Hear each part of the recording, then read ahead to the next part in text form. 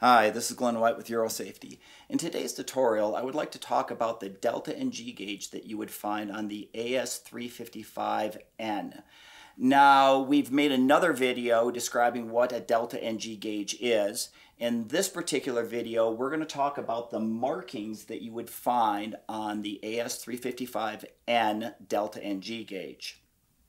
Now, on other delta NG gauges, there's a digital uh, indication what the engine NG speed is. On this particular helicopter, the NG can be displayed in these little windows that are on the instrument panel. And you can choose what is being displayed on these small readouts.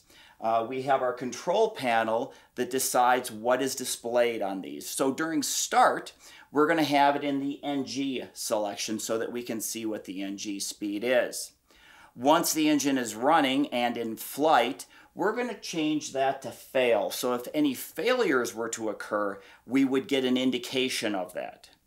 Now there's a whole bunch of markings on these gauge and there's some confusion what all these markings mean. Now first of all, you notice there's a dashed indication between the yellow and the green. And this is dependent on your speed and the outside air temperature. If you're below 65 knots, you can go up to the bottom of the yellow, which is minus 2.6. Now, if you're faster than 65, the outside air temperature needs to be warmer than 0 degrees centigrade.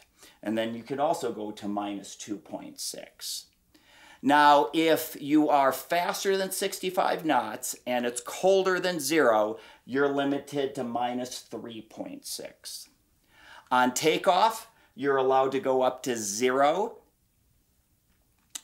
and if you go above zero, this limit indication will appear on your caution panel.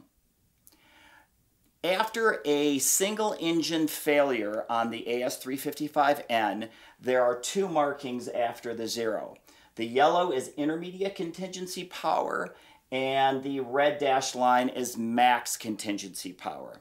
You're allowed to go up to the yellow for 30 minutes you're allowed to use max contingency power for two and a half minutes. Now, the NG can't get past that. It's limited to that um, 2.7% of value. If you try to pull more, you'll just droop the rotor RPM. Now, once you've used up your two and a half minutes, um, or you want to reduce power, what you can do is you can push the small button that's underneath the collective head, and that will now limit your NG instead of the max contingency power to the intermediate contingency power automatically.